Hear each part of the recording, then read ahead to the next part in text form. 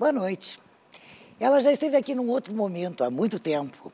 Então, ela não tinha ainda concluído a sua trilogia da dor e ela não tinha ainda ocupado uma cadeira na Academia Brasileira de Artes e Letras e não tinha nem exposto em Paris. Uhum. É com ela, com Arminda Lopes, que vamos conjugar verbos na primeira pessoa. Ela nasceu em Santa Maria. Ela queria, queria sabia que o negócio era arte. Arte. Mas arte, o que é? Artista. Mas artista não era muito bem vista na família. Mas assim mesmo, ela andou fazendo teatro, ela estudava ballet, ela escrevia poesias, mas também recortava e guardava ah, ilustrações de revistas que tinham obras de Rodin, que tinham obras de Di Cavalcante, enfim, estava por aí. Só que, quando a família veio para Porto Alegre, etc. e tal, ela resolveu fazer o Instituto Educação, magistério. Terminado o curso, de, curso normal, ela começou a trabalhar na PAI, durante cinco anos trabalhou. Aí ela conheceu o Rui Lopes Filho, com quem se casou, e os dois foram morar em São Paulo e lá moraram durante um ano e meio. Na volta, ela teve seus filhos, quatro, né? Quatro. Quatro filhos. Bom, depois de tudo isso, ela resolveu, quem sabe, eu dou abro uma portinha para essa minha vontade de fazer arte. E foi estudar com a Leila Sudbra, primeiro. Depois o Ateliê Livre da Prefeitura. Aí começou a participar de várias exposições coletivas, sempre com o principal tema, o individual, o cotidiano feminino.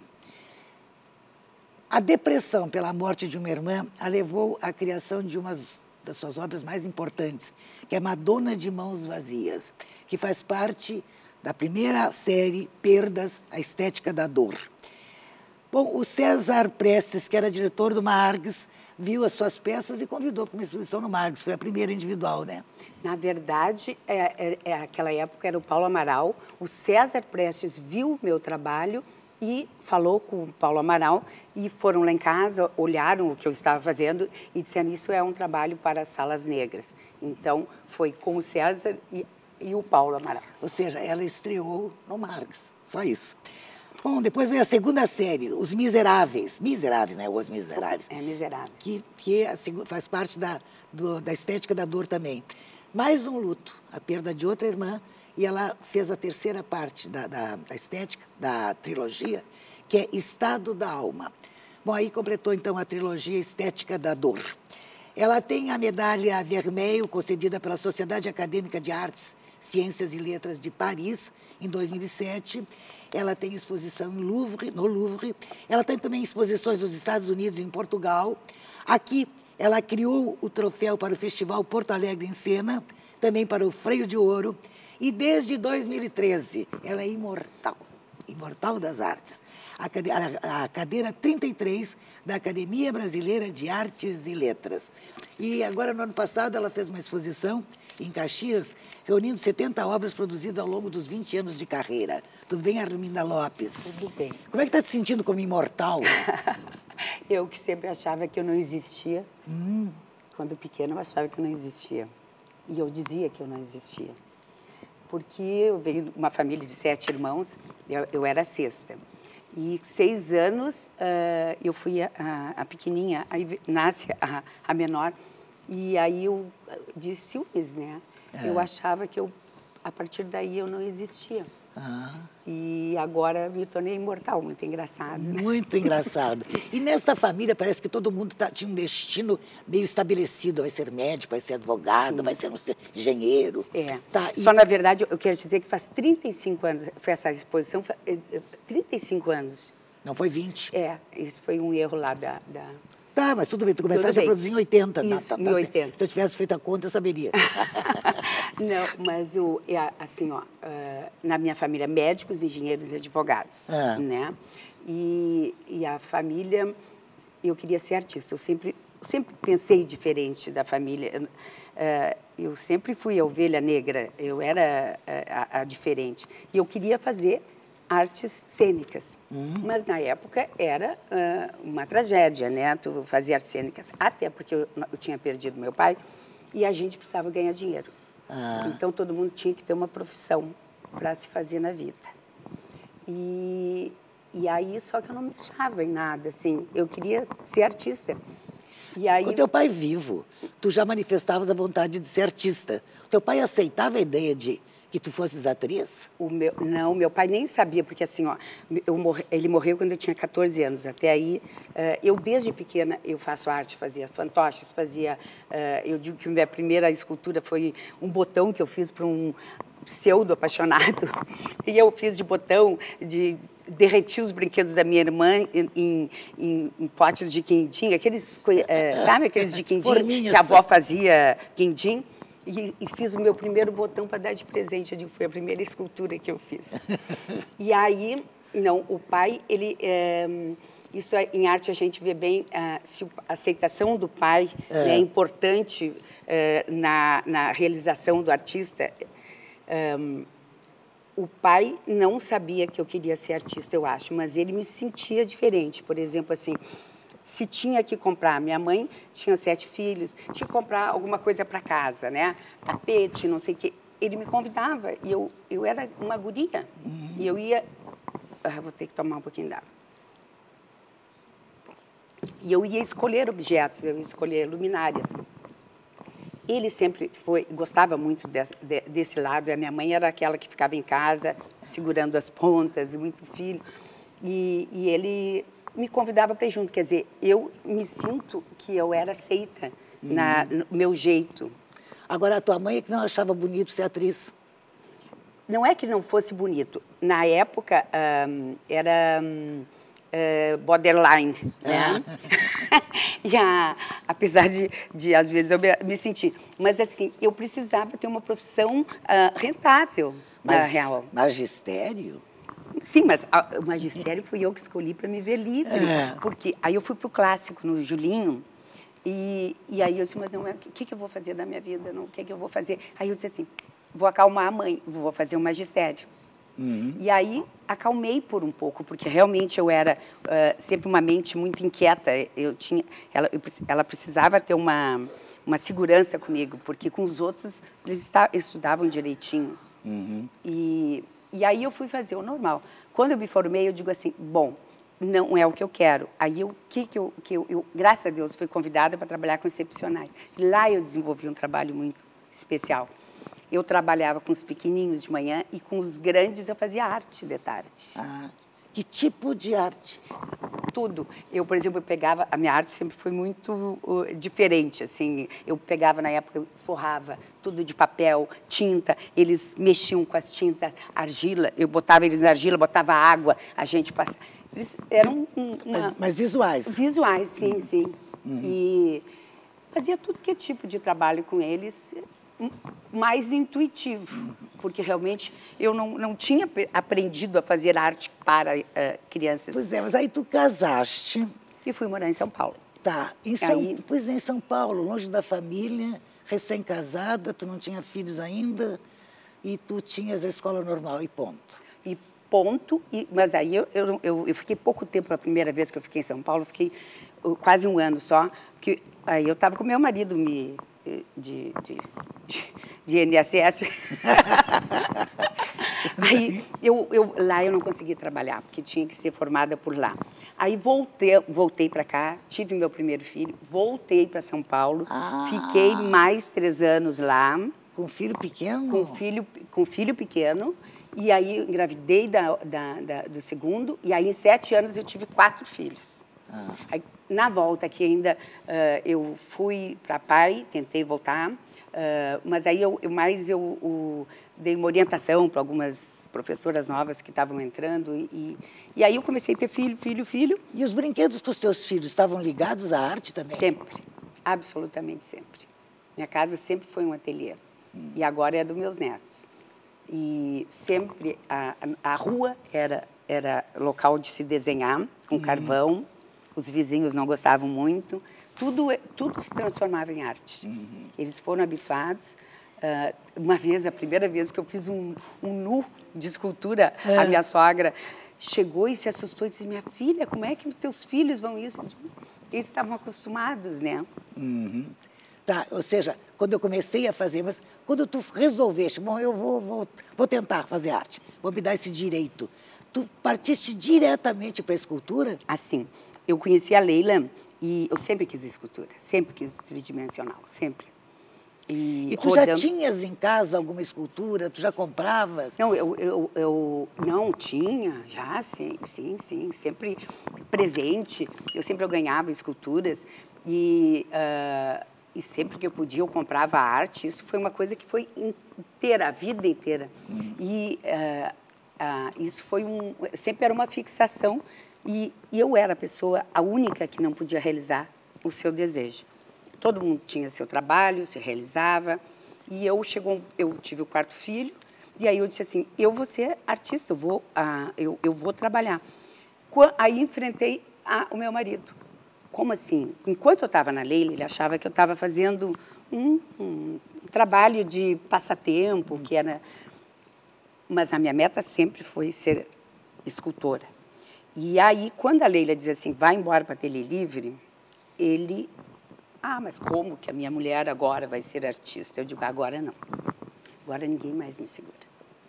Porque todo mundo pode fazer o que quer. Eu sou a única pessoa que não tem direito a, a, a fazer o que eu gosto. Você mãe a vida inteira, eles vão crescer e aí, né?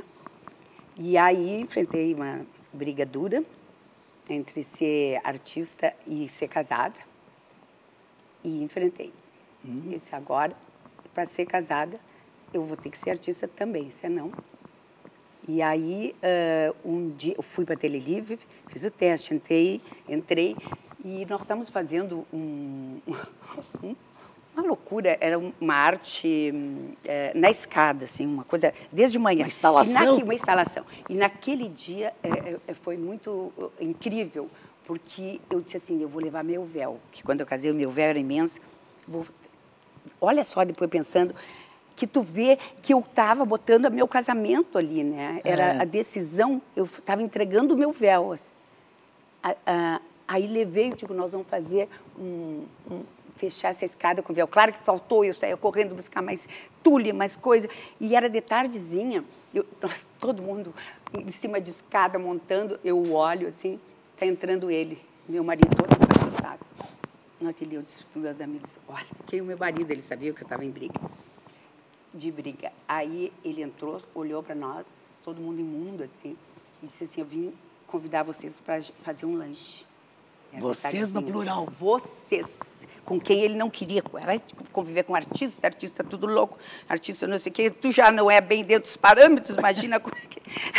e aí saímos, fomos para um boteco ali perto do Ateliê Livre e comemos uma comidinha. E ali ele quis dizer assim: Ó, uh, eu tô te aceitando como tu é ah. E aí, um, uns dias depois, ele, mandou, ele tinha mandado fazer uma mesa de trabalho, que eu tenho até hoje, e me chegou a mesa de trabalho. Aí ele entendeu que eu, para ser feliz, eu tinha que fazer aquilo que eu mais gostava, que era arte. E e, e aí ele se tornou o contrário. Ele, ele, ele fica fazendo propaganda do meu trabalho o tempo todo. Tu tens o ateliê perto da tua casa, junto à tua junto casa? Junto com a minha casa. Tá, esse, a tua casa foi construída em função do ateliê? Do ateliê. Uhum. Ou seja, esse ateliê foi a, a, o grande presente foi. do marido? É, foi porque eu comecei a trabalhar com peças pequenas e fui crescendo, crescendo, e o meu ateliê, ele construiu aí um ateliê em cima da minha casa. Só que tinha que passar aquele monte, é cimento, é, é, é, é gesso, era uma história para subir. E aí nós pensamos, bom, vamos construir uma... Aí eu, eu queria uh, ter o meu ateliê fora, mas com quatro filhos, né, as dificuldades, adolescência. Nessa época, o Rui estava em São Paulo, ele ficou nove anos uh, morando lá e vindo fim de semana, e eu com os quatro aqui. E aí, assim, ter um ateliê fora era, era perigoso. Mulher no ateliê, numa casa, porque ateliê de, de escultor tem que ser casa, tem que ter é. chão, né? Não dá para ser apartamento. E aí, uh, então, foi que a gente resolveu, fizemos o ateliê, então ele disse que é uma casa junto com o ateliê. O Rui se rendeu a se partir rendeu. daquele véu uhum. e daquela, daquela... Ou seja, é definitivo. O, definitivo. o véu fica, o véu sai. Mas, de repente, tu também te rendeste no momento de dor eu quero que tu fale sobre isso no próximo segmento, tá certo? Com certeza. Aguarda.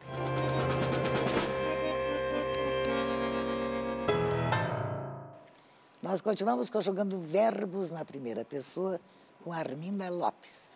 Os contatos com a nossa produção podem ser feitos pelo nosso endereço eletrônico, primeira pessoa, arroba, tve.com.br, ou pelo nosso telefone, 3230 1568, ou então pelo Facebook, estamos lá, primeira pessoa. Arminda, eu disse, né, eu comentei que o Rui né, foi seduzido, foi convencido, se rendeu à tua atitude. Mas tu te rendeste à dor. E essa escultura aqui, essa escultura, é a mulher de mãos vazias, né? É, Madonna, de, mãos Madonna vazias. de mãos vazias. Ela, ela foi fruto de uma dor, de uma depressão. Como é que foi isso? Realmente, eu perdi uma irmã e uh, fui uh, para a praia e passei um período assim que pintei a minha casa toda de branco, eu precisava pintar, pintar, pintar, pintar. Tudo eu pintei de branco. E tu pintaste? Tudo eu pintava, desde pintei, de parede a móveis. Eu tinha uma, tive uma necessidade de do branco de pintar, eu estava eu, eu tava fora uh, da casinha.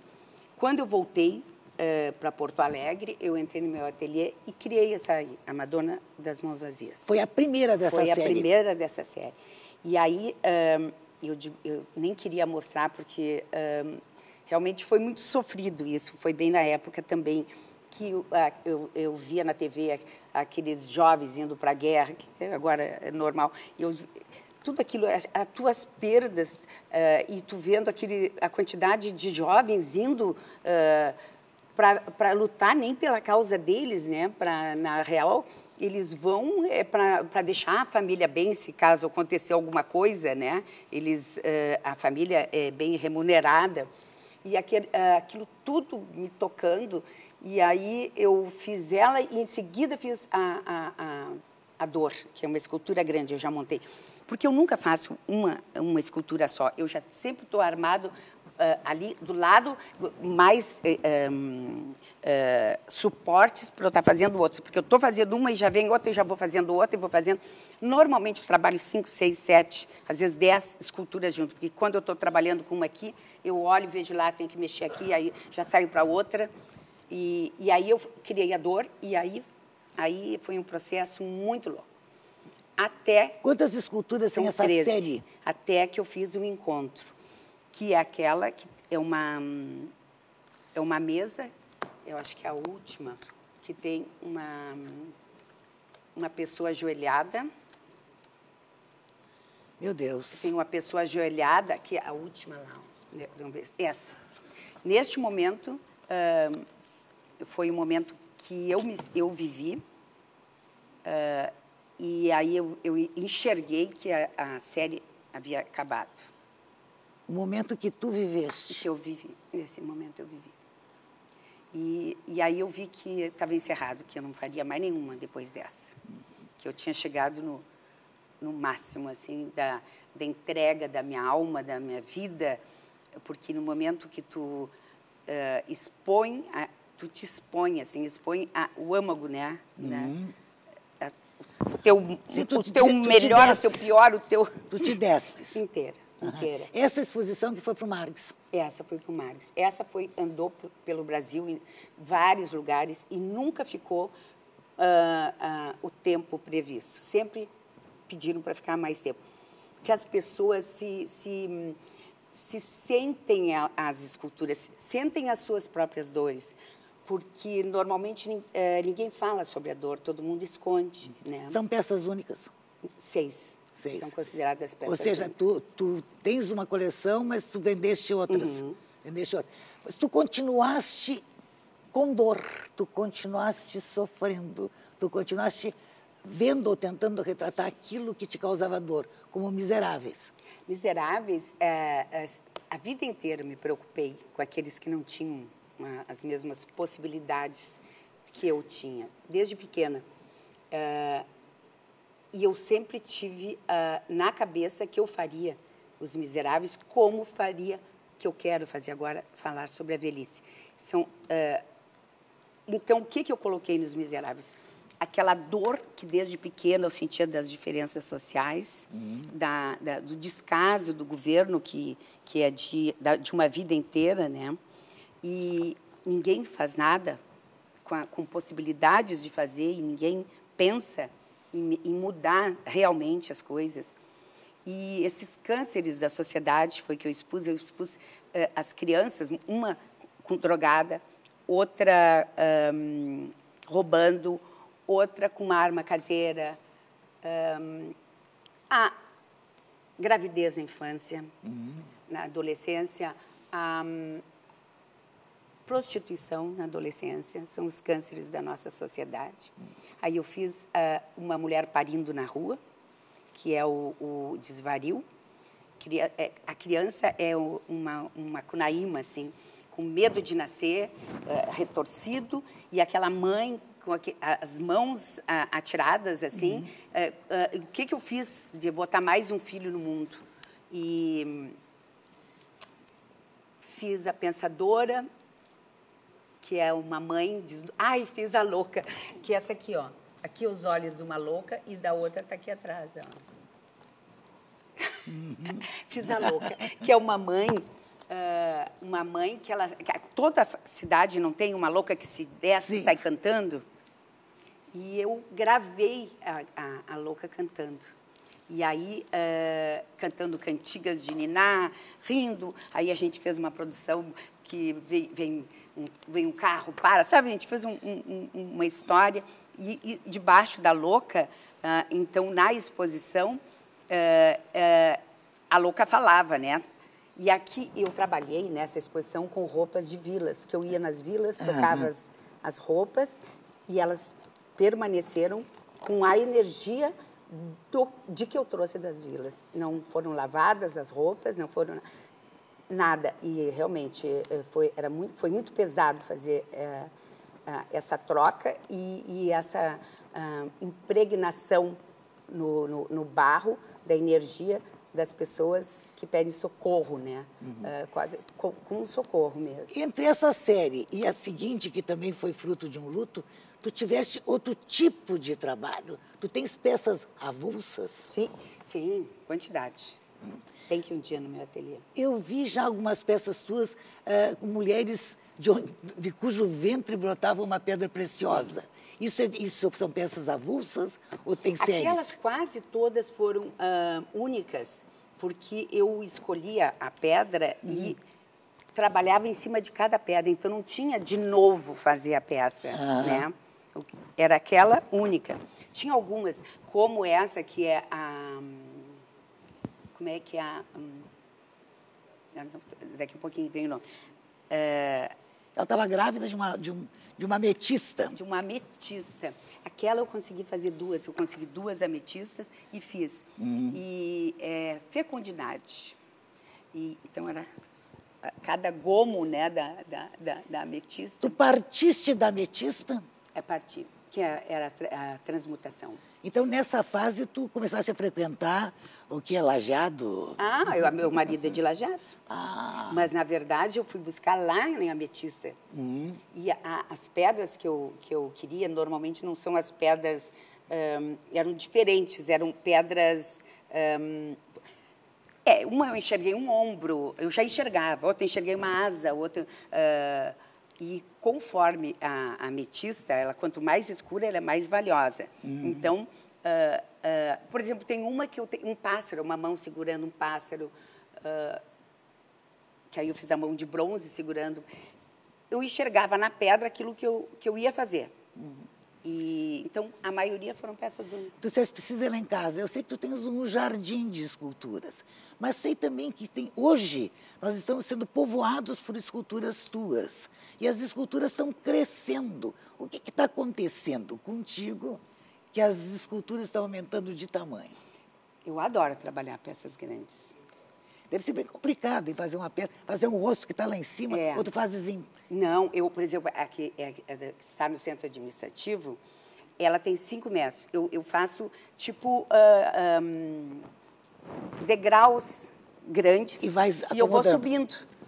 Vou subindo, subindo. E tem fotografias que são muito boas, que eu estou lá em cima. Eu caí duas vezes de dois metros ah, de altura. E quebraste o quê? Eu nem podia dizer, porque eu tinha que entregar. Porque essa eu fiz assim, uma parte e a outra eu, eu trabalhava na praia dos joelhos para baixo. E, e, quando eu estava em Porto Alegre, trabalhava essa parte, faltava o meio. Tu tem ateliê na praia também? a minha casa é um ateliê. Né? É. E, lá tudo é arte. E o, mas a, quando eu cheguei aqui, eu precisava, meu ateliê tem 5 metros, eu precisava de 7 metros para fazer a forma, né? E aí eu tive que montar isso na rua, eu tinha que contar com o tempo, hum. imagina só. E, e para segurar, minha casa é muito alta, fica no, no, no morro, assim, bem uh, no alto, não tem nada que segure do rio, não podia ter chuva, não podia ter vento. E, e eu consegui montar e botar parte do meio, fazia parte do meio, fazer a forma, tudo numa semana e não choveu. E tinha, tinha ah, ah, todos que eu botei assim, e, e era perigoso, porque de repente se transforma em vela, leva tudo pois é, embora. É, são né? santos orixás que te protegem. É. Uhum. E eu caí e, ti, e eu não podia, eu, eu não podia ninguém saber que eu tinha caído, porque uh, eu tinha que acabar a escultura. Uhum. E no outro dia subi e caí de novo, porque eu, vai pra, sabe, vai olhar, bota o pé fora e caí. Onde é que são fundidas as esculturas? Tem dois lugares aqui. Aqui em Porto Alegre? Aqui em Porto Alegre, que, que, eu, que eu consigo fundir. Não Só tivesse... tem dois fundidores. Pois é, mas uma escultura desse tamanho não tivesse perda nenhuma? Não. não. Porque eu te perguntei por que estão crescendo as esculturas. Você disse, eu gosto. Mas, de repente, brotou em ti a vontade de fazer maiores? Não, sabe que sempre eu fiz peças grandes. Fizeste tamanho natural, muitas peças. É, tá. É, tamanho natural, agora, um pouco dizer, maior. Cinco metros... Sim, é. é. Foi pedido. Ah, tá. Foi pedido. Uhum. Que era uma escultura de cinco metros, assim, assim. Essas esculturas que tem uma em Canela, tem uma aqui no Centro Administrativo, são esculturas encomendadas? A, a primeira foi pela Prefeitura de, de Canela. Uhum. E uh, para esse, esse movimento, que é, é Mamãe Bebê, é um movimento que vem da França, que tem mais de 20 anos, e um trabalho muito lindo que eles fazem uh, com a faziam com a Ubra, já não sei, naquela época. Ah. Os estudantes, estudantes de medicina, eles uh, vão para as vilas trabalham as mãezinhas que estão grávidas e ensinam como cuidar do seu bebê. Cada uma se torna eh, divulgadora para sua vizinha por lá. Então foi um movimento tão lindo que aconteceu em Canela, que diminuiu assim a mortalidade, a mortandade infantil, incrível, porque Canela e, e, e, e Gramado, os hospitais não aguentavam o inverno de tanta criança doente. Mas assim, quase que acabou com aquela loucura de. Porque. Ah, uh, foi um, é um movimento um, e tem uh, que além de, disso tudo eles fazem um, simpósios ah. e, então professores, médicos, eh, pessoas especializadas vêm de todos os lugares, de vários lugares e, formam esse, esse congresso sobre a criança e o bebê. E, e aí, lá, o, o, o, que era o nosso deputado Asmar Terra, que ele era secretário da Cultura, ele foi lá para receber essa escultura no dia, e aí ele se encantou com o projeto e quis implantar em Porto Alegre. Uhum. E aí foi que ele pediu essa escultura para cá, que era para estar na Redenção, porque a história é a seguinte: no, todos os anos tem esse congresso, tem esse movimento. E aí todas as mãezinhas vão com seus nenês, vão as pessoas que trabalham é, em hospitais, os, os formadores de, de, opinião e de, e de, de todas que participam desse movimento e fazem uma caminhada a, da escultura, vão até a igreja onde tem uma missa. Uhum. E, né, e é todo, todo um, tem banda, tem, fazem tudo. E aí aqui, essa escultura era para estar na, na Redenção, mas na época é. acharam que a Redenção estava poluída de esculturas. Hum. Então, não podia estar na Redenção. Hum. E aí acabou ficando completamente fora, porque essa, eh, essa, eh, esse movimento acontece na Redenção todos os anos e vai para o BRIC. Uhum. E a escultura ficou sozinha, fora. ficou sozinha. É, falta de vontade, né? E aquela escultura que tem junto ao cemitério, na Praça da Saudade? Aquela foi um, um, um, um movimento, é, foi da atmosfera. E eram esculturas efêmeras. Ah. E aí eu finquei uma escultura de 10 metros, uma tonelada e meia, com berços infantis, reivindicando berços para crianças. As crianças morrem porque não tem cuidado, não tem uhum. cuidado médico, não tem hospitalar, não tem lugar para colocar as crianças. Ah, agora houve um movimento eh, para o Hospital do Coração da Criança, para fazer mais 10 leitos. As cri crianças são mandadas para casa porque não tem onde receber as crianças. Uhum. Então, eu consegui no movimento, não sabe o que apareceu no meu ateliê de berço de cama de hospital, que eu fui nos, nos hospitais, o que chegou, chegava horrores, horrores, que depois eu comecei a doer de volta para outros hospitais menores, né? Tu disseste, eu finquei escultura. Finquei. E aí eu fiz assim, a praça estava completamente abandonada, uh, tinha, a gente chegava lá, tinham bichos morrendo, uh, uh, que, nas macumbas, nas coisas. Limpamos aquela... Eu pintei os, todos os, os, os brinquedos infantis, coloquei novos, porque a gente tinha um dinheiro pra, pra é. que era dado para cada artista. Eu botei brinquedos novos, pintei, só podia pintar as árvores, nem com cal podia pintar as árvores. Uh, uh, só os, os, as árvores que fazem, esquentam a, a, maconha, sei lá o que, que é, crack, na, que vão queimando a árvore por baixo. Ah. Então, só os galhos velhos eu pude pintar. Mas reformei toda a praça, botei uh, aquele cascalho embaixo. Então, ali é a criança que tem direito à vida. Uhum. E a uhum. cruz é a criança que determinam que ela vai morrer, que não tem direito à saúde.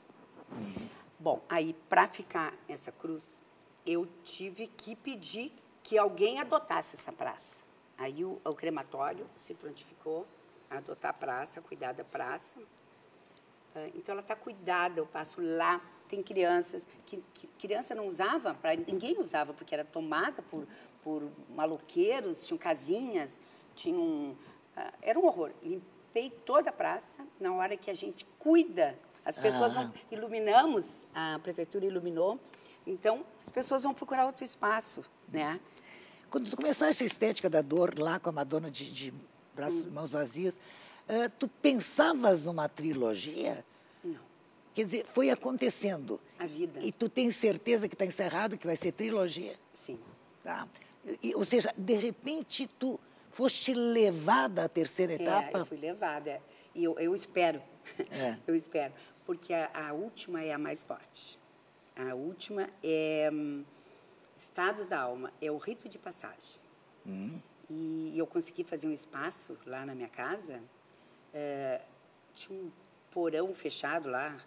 Eu tirei caminhões de terra e transformei em um espaço. E ela está colocada, não inteira. São sete uh, pessoas um, presas por ganchos de açougue e elas se mexem, se... Ela só existe lá, essa, essa série só existe só lá. Essa. E aí uh, eu, eu, eu, apresentei no Museu Júlio de Castilhos, ficou ah. três meses, mas o, o, Museu Júlio de Castilhos tinha um problema de... Eu fiz uma capela na rua, de 20 metros por 7. E o, o, problema do Júlio de Castilhos é que não abre fim de semana. Ah, é verdade. Foi, não, não, ficou três meses, mas... E na tua casa está aberta a visitação? Como é que funciona? Pois é, eu, tenho, eu quero abrir a, a, a quem quiser é aberto, aberto a visitar com uma, maior prazer, mas eu quero fazer grupos que eh, claro. Eh, fazer grupos uh, uh, que possam visitar, porque tem, eu tenho que abrir isso, porque uhum. realmente eu tenho muito muito trabalho para ser mostrado. E tu tens alguém cuidando disso ou tu cuidas disso? Não, eu tenho o Marcelo, que ele me ajuda. Ah, quer dizer que se tu abrires, tem uma pessoa para receber, para encaminhar. Tá. tá, bom, quer dizer, com, com, tudo isso, eu quero saber agora como é que é a tua vida no, no meio disso tudo, porque de repente tu, tens, tu sucumbes à dor e tu te entregas à dor. Agora tu disseste que vai fazer uma série sobre a velhice. Eu quero saber se a velhice tem dor ou não no próximo segmento, tá certo? Aguarda.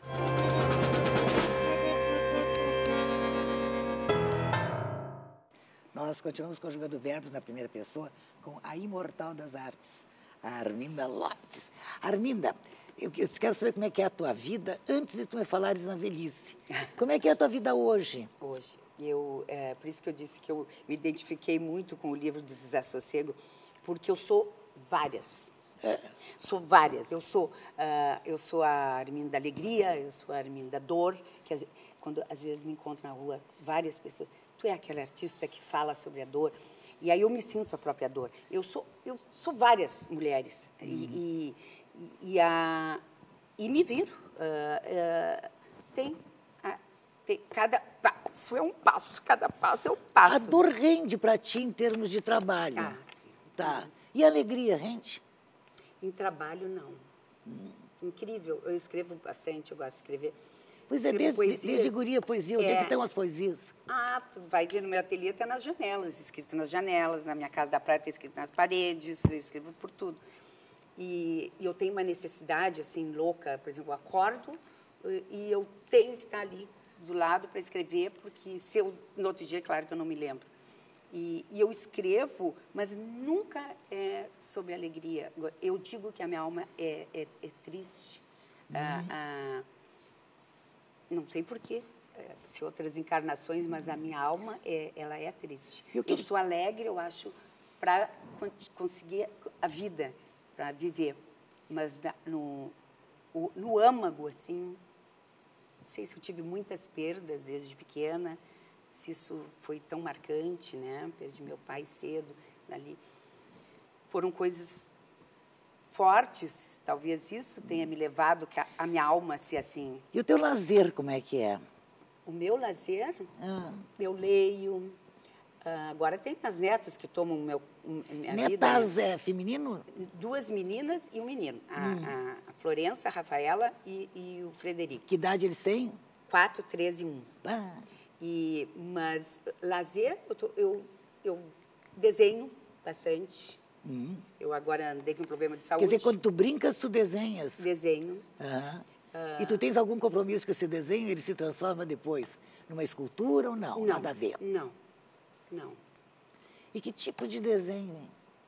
Por exemplo, agora eu fiz para minha médica a fibromialgia.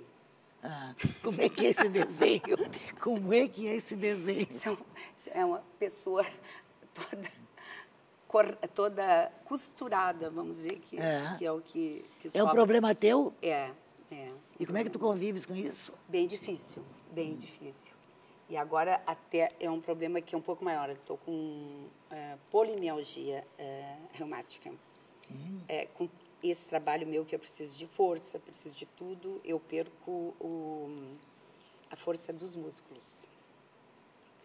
E, e aí é bem difícil. E como é que está trabalhando isso? É, estou tá, é, com um psiquiatra, estou com medicação bem forte e não vou voltar a ter de novo. Sim, ótimo. É uma decisão. É, não vou voltar a ter de novo. Estou ótima uhum. e, e, e vou conseguir vencer. Agora, tu sais, tu sais para jantar, tu sais para passear, tu sais para teatro. Aliás, tu, inclusive, é, é, responsável pelo troféu do Porto Alegre em Cena, é, fazendo que é o grande evento é. cultural de Porto Alegre. Fazendo tá, Tu vais a teatro? Quando eu posso. O que, que é Realmente o que mais é, é, que mudou muito a minha vida nos últimos tempos com essa. Eu moro lá na Zona Sul e o meu marido aqui. aqui. Quando ele chega lá ou quando chega aqui, já estava duas horas de viagem para lá para cá. Faz um ano que eu não vou a cinema nem teatro. Parece quando ele chega, uhum. e ainda eu tive esses problemas de, de, de saúde, né? E então re, me re, reduziu muito a minha ida para o teatro. Se eu pudesse, eu, eu, iria bem mais. E tu leva cinema para casa? Ah, nós temos um cinema, um cineminha, né? Uhum. Um, sim, e a música, muito... como é que tu... A música, eu, eu só, só vivo com música. Não hum. sei viver sem música. Não sei viver no, no barulho do silêncio.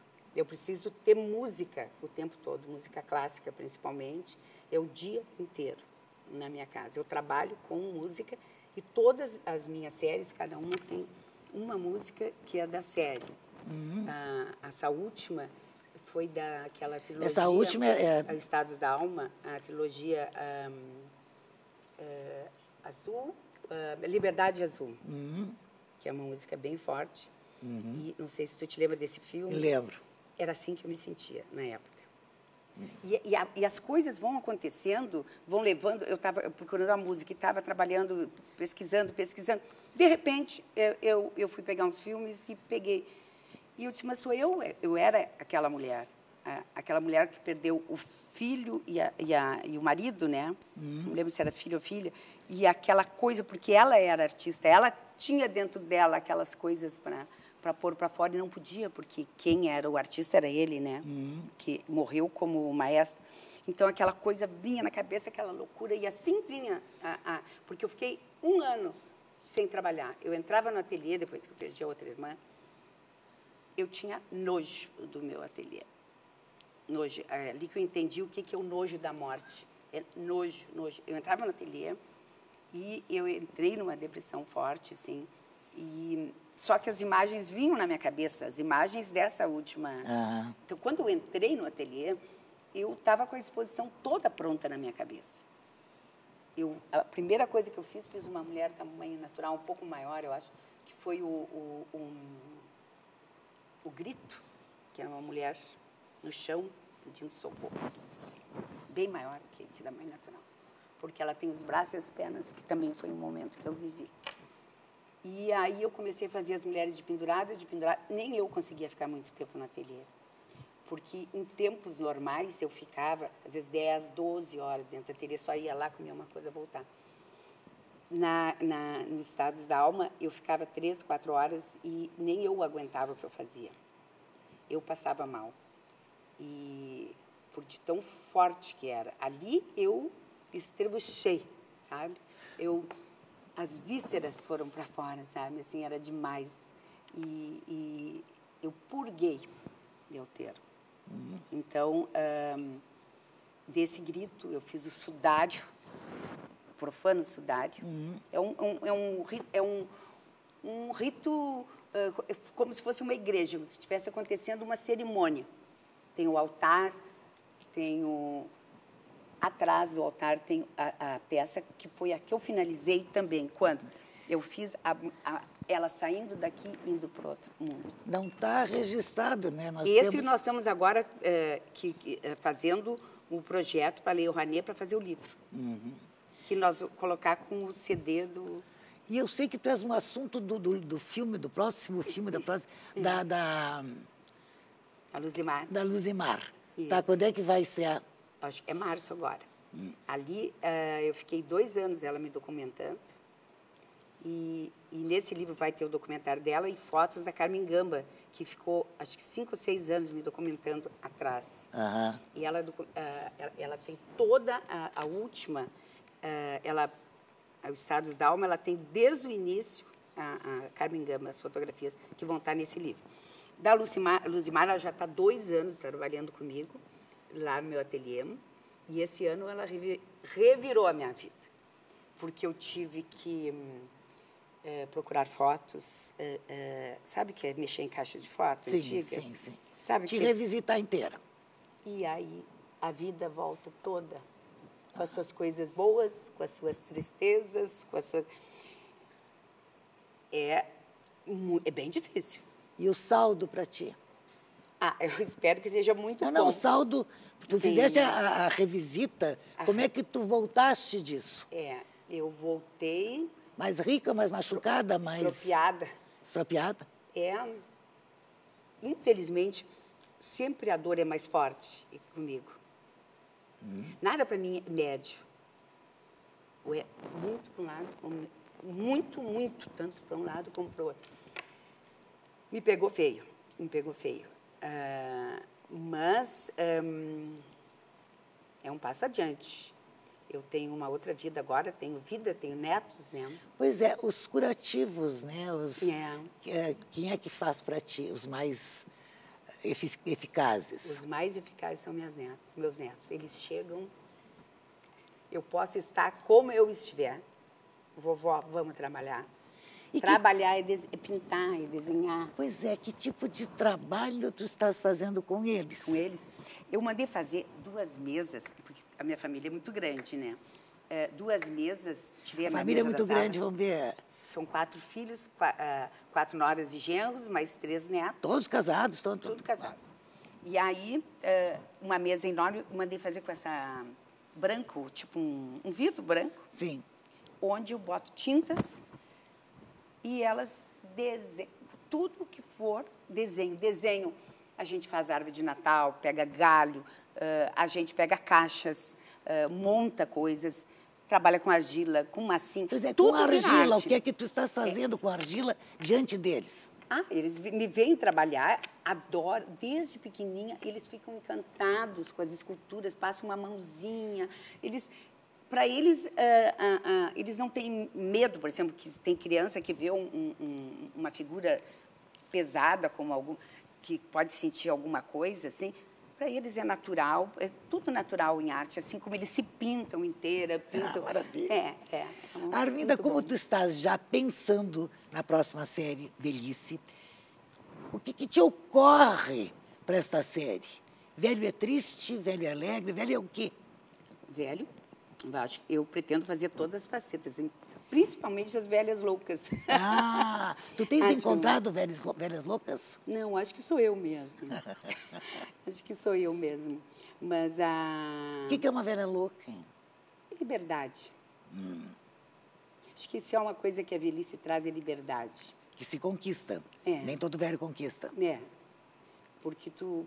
Eu sou uma pessoa que eu boto o que eu quero, faço que eu quero e não estou preocupada absolutamente com, com nada, nada, nada. Às vezes me perguntam por que o teu cabelo? Porque eu gosto. Nasci assim, uhum. entende? Nasci assim, gosto. Gosto da cor, a cor é vida, né? E eu preciso da vida, eu acho que até para contrabalançar com minha alma triste. Mas né? tu tens de convencer alguém a fazer esse tipo de trabalho no teu cabelo e acertar. Nem fala. Eu, há 15 anos, a pessoa que fazia meu cabelo foi embora para São Paulo agora. É. E aí eu fiquei perdida. Aí, agora, achei o, o Jorginho, que, e ele me fez, e, acho, e gostei, e agora vou seguir. É, tá. O que, que vou fazer? Tá, agora, Ninguém substitui. Agora tu te entregas para ele. Entrego para ele. Uhum. Entrego total. E o, uh, mas passei meio um luto de. tá, mas como velho é liberdade, que outro tipo de liberdade tu estás descobrindo nesse momento? Ah, de falar, de ficar de boca fechada, principalmente, de saber quando uh, isso é meu, isso não é meu. Ah. Né? De separar as coisas, né? Isso aqui agora não é mais meu, né? Isso é um, é um jogo também bem sério, de ah. saber, né? Vou participar, não vou participar, dizer não. Aprendeste a dizer não? Não como eu devo, mas a gente vai chegar lá, hum. né? Porque é, é difícil, né? Dizer não. E o que, em termos de indignação, como é que é a tua vida hoje? De indignação é, é uma das coisas que mais me, me mexe, né? É... Tu cultivas a indignação? Pelas injustiças, sim. Hum. Pelas coisas que estão acontecendo, sim. E. É, me, isso é uma das coisas que me agride, é, é, é são as injustiças, me indigna. E, é, a falta de respeito né, com as pessoas por exemplo, agora, faz duas semanas, entraram na minha casa com, com a gente dentro da casa. Então, nós perdemos todo e qualquer direito à segurança. A gente só tem direito a pagar. Ah. Pagar, pagar, pagar, pagar. Como pagar. entraram? Entraram na nossa casa, na praia. Tá, e ameaçaram vocês? Não, nós Roubaram? dormindo. Eu, eu ah. estava lendo, eu assistia a pessoa subir, descer a escada, eu achava que eram meus filhos. Entraram, tu não tem... Eh, tu não, não, não, nada mais ataca, nada ah. mais ataca. Cada vez mais a impunidade está aí e isso me indigna muito, muito mesmo. Porque um país como o nosso, que podia ter... E medo, hein? Quer dizer, agora acabaste de entrar na minha casa, todo mundo dentro, dormindo. Tu, medo é uma coisa que tu tens. Sabe que eu não tenho medo. Aí, eu tenho uma coisa que eu tenho uma gana, é a indignação que eu sou capaz de avançar se eu pegar, eu não, uh, eu não tenho medo, eu fico, continuo, eu fico, tiver que ficar sozinha, eu fico, fico na minha casa sozinha e, e não tenho, uh, não tenho medo, uh, não sei, pode ser que um dia tenha, mas se eu pensar, não tem. O que, que eu vou fazer? Eu, digo, não tem medo. O, o, o, Rui, ah, agora, você que pode sair, pode. Eu não tenho medo. Mas você deve ter algum tipo de proteção, né? Ou é só dos orixás? é, rezar. Ah. Tu rezas? Hoje em dia só rezando, sim. Tu rezas? Rezo. O que mais tu fazes em termos de, de buscar proteção? Olha, eu já fiz de tudo. Hum. Hoje em dia eu rezo. Só rezo. Bastante. Nós falamos aqui no teu cabelo, mas então toda, toda a tua roupa, tudo que tu que escolhes, tu Sim. sais para comprar roupa ou tu manda fazer roupa? Não, eu vou achando. Eu, o que eu achar, que eu gostar, eu só compro coisa que eu gosto muito.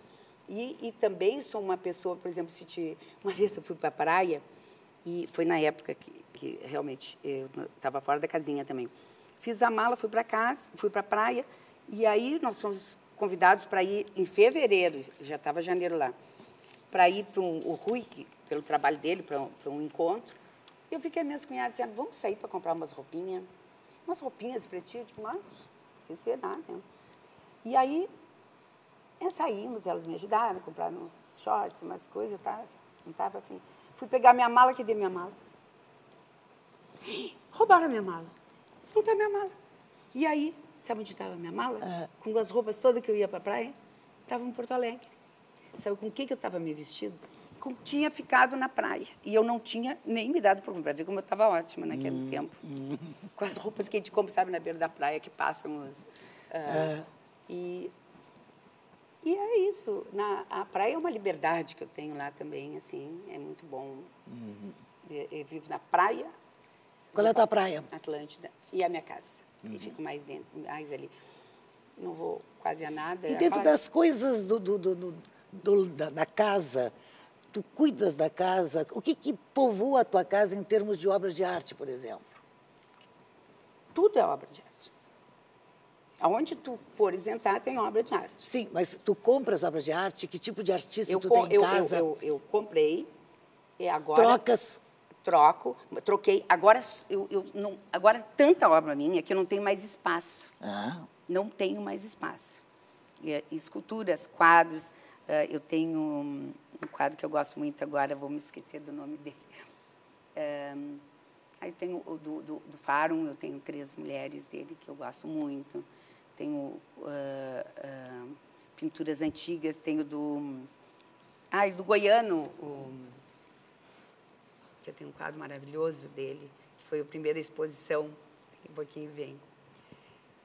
Um, no, foi incrível, porque eu fui na casa do. Te lembra do. Ah, do. do, é. Lencastro Guimarães. É. E aí foi a primeira individual. E aí ele ficou doente. E quando eu cheguei, ele disse assim: vai lá em casa para a gente fazer a reunião. Quando eu enchei, entrei, sentei e eu fiquei louca pelo quadro. Eu digo, esse quadro é meu, o que, que ele está fazendo aqui? Olha que loucura. Fiquei enlouquecida, enlouquecida pelo quadro. Bom, ele passou tempo, ele morreu, não sei o quê. Um dia teve uma exposição, era o quadro. Eu fui lá e disse assim, esse quadro é meu. Aí, liguei para o Rui, comprei um quadro. E, e, e, aí, nós estávamos construindo a casa, quanto é? Eu digo, não sei, eu, eu, eu... ele tem que ser meu, é aquele que estava lá, não consigo me lembrar o nome dele, do Goiano. Não te lembro também. Também não. Ah, vai passar. Lamentavelmente, o tempo corre e nós encerramos o nosso espaço. Mas quero te agradecer muito por estares aqui e parabéns pelo teu trabalho, continue firme. E eu que agradeço tá. ter essa oportunidade. E parabéns agora pela imortalidade. um beijo, obrigada. Obrigada. Obrigada a vocês também. Na próxima semana, neste mesmo horário, estaremos aqui outra vez, conjugando verbos na primeira pessoa. Boa noite e até lá.